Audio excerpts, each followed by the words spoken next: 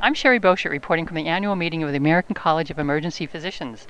I'm with Dr. Jeffrey Sankoff and we're talking about dyspnea. So when someone sees a patient in the emergency room with dyspnea, walk them through the steps they should take. So everybody with dyspnea should be presumed to have a cardiopulmonary cause. And so the beginning should always be a good history and physical, uh, including auscultation of both the lungs and the heart, followed by a chest x ray. And then if the chest x ray comes back normal, uh, you really want to gauge what their response to oxygen is because that's really going to help you determine whether or not you're dealing with a pulmonary or extrapulmonary cause. If they respond to oxygen and have an abnormal chest x ray, then your diagnosis is referable to the lungs or to the heart. If, however, their chest x-ray is normal and they do not respond to oxygen, then you've got an extrapulmonary cause of their dyspnea and it's time to start broadening your differential. What would you say is the most interesting case of dyspnea that you've seen in the emergency room? Uh, definitely some of the acquired hemoglobinopathies are interesting because they show up in patients that uh, definitely require a lot of detective work.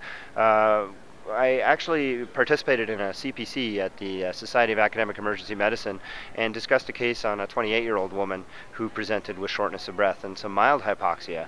And uh, I mean, for all uh, intents and purposes, I mean, she looked everything like a pulmonary embolism or uh, some other kind of uh, acute pulmonary process. But it was only through really working through a very broad differential diagnosis that you could get down to the fact that she didn't meet a lot of the classic findings and classic laboratory analyses that you would expect with that type of diagnosis. And it was only by doing that that you eventually got down to the fact that really what her issue was is that she'd been on a sulfa drug and she had an acquired sulfhemoglobinemia. And, and to me, that was a, a real eye-opener that extrapulmonary causes do exist. You do see them rarely, but when you do, they, they require some real thinking and uh, they're, they're definitely interesting.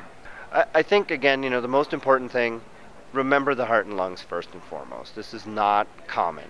But that being said, uh, I think that uh, as pressed as we are in the emergency department, it reminds us that uh, emergency medicine can be a very intellectual experience, and uh, patients can present with common symptoms of uncommon diseases. And so we always have to keep our differentials broad, and we have to remember to look for things that we don't commonly see.